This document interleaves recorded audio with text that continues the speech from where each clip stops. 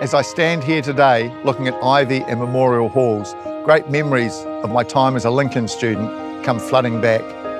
These halls have seen generations of students embarking on their educational journeys, creating bright futures and lifelong friendships. Memorial Hall was built in 1924, a student-led project brought to life by the generosity of the alumni and the community, a place to honour the fallen and to remember those who came before us. But the Canterbury earthquakes left Memorial Hall and Ivy's West Wing in serious need of repair.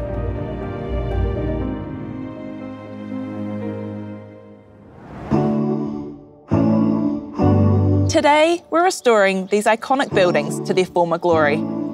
Once again, they will take a central place on campus and help shape future generations of leaders and achievers.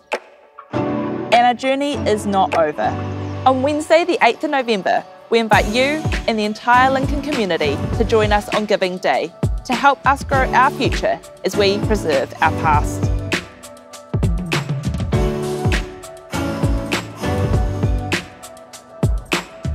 We have 24 hours to meet our goal. All donations will be doubled thanks to our generous matching donors. That's double the impact.